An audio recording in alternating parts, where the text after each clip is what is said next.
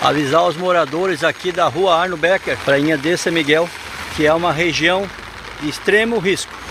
Já teve um deslocamento de massa, então fiquem atentos.